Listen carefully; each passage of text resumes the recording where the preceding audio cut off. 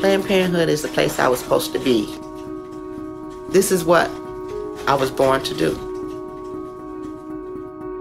I've always wanted to work with people and help people and make their lives better or even have some type of important impact in their daily routine. Even if it's just changing um, one patient um, who comes into our centers uh, to um, give them the care that they're needing, those are ripples of hope that we're providing to that patient, but the community as a whole. There are so many people who don't seek medical care because they don't have insurance or not or not enough money to be seen by a provider, and that really doesn't matter when you come to Planned Parenthood. Um, we'll see you.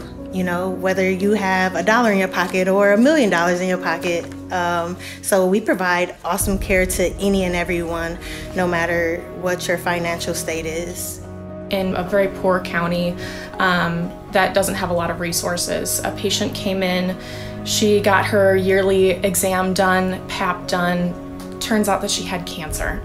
Um, just a week later that um, we had diagnosed her with cancer, her sister came in and said, I haven't had a PAP before, I'm really scared. My sister was here last week and got some bad news. Um, but we were able to be there for that family and actually uh, be the first type of health care that they've been able to get in over a decade. 13 years ago, I moved to the United States. And like many other immigrants, I didn't have health insurance. But I had dreams, I had goals. I did not want to get pregnant right away, but I couldn't afford $120 per month for a pack of pills. The only healthcare provider that was able to help me was Planned Parenthood. Thanks to Planned Parenthood, I finished college and I became a mother when I was ready to become a mother. Every time I teach a girl about birth control, I see myself 13 years ago. And working for Planned Parenthood gives me the opportunity to give back to an organization that did so much for me. And I know Planned Parenthood will be there for my daughter too. I don't think of Planned Parenthood as a safety net just in terms of those who can't afford other care, but we're a safety net in terms of judgment. I've just had a patient on Tuesday that um, came in and told me that she was specifically coming here to Planned Parenthood, even though she had private insurance and a general practitioner already, uh, because she felt less awkward with us and she felt like she could actually open up to us about these issues that she's having. And that's not an uncommon story. A lot of people do that. Um, and I feel very proud to be someone that my patients can trust and actually open up to. What I have found in working in abortion care is that seeking abortion is not only for our patients themselves, but it's often for the children they already have or the children they want to have in the future. And when women hear that it's actually can be a caring decision, um, they're a little bit more gentle with themselves.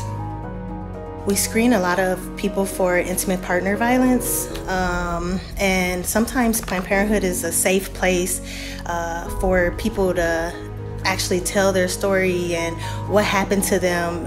A 13 year old patient came in and um, she was saying how she was sexually abused and still was seeing that person, and I was the first person she ever told. It almost brought me to tears because of seeing someone so young go through something so traumatic and her being able to trust me um, and me being the first person to ever hear her story, um, it kind of brought me on a deeper level and connection with this patient.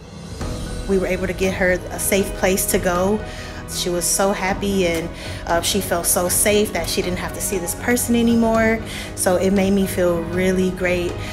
Um, and it kind of touched my heart. And from that point on, like, I just realized how it really can change someone's life and actually help them.